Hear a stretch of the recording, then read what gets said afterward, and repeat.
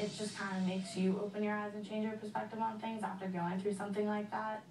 And then we deploy. Saved by a concussion, a bump on the head leads to a surprising surgery for a local teenager. When she got that bump, doctors found an even more dangerous diagnosis there. Channel 11's Jennifer Abney explains. Taylor Milligan has been dealing with headaches, vision problems, even numbness in her legs, but she ignored her symptoms until one day at work when she bumped her head. I just knew something wasn't right.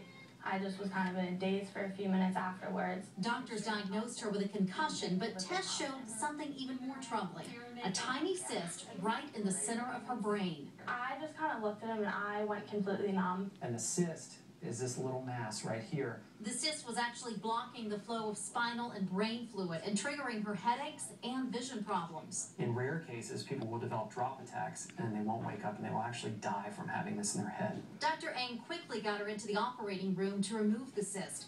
A challenging procedure, though, because Milligan is only 19. In her case, we had a combination of small ventricles uh, in a young, healthy brain uh, with cyst, and so that makes it even more difficult to appropriately dissect and appropriately remove this. Milligan wrote a blog and posted pictures about her experience.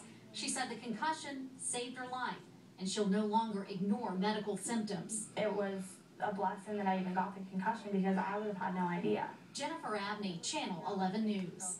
Milligan has some short-term side effects from the surgery, but says she is healing fine. Looking forward to going back to work next month. The Pittsburgh House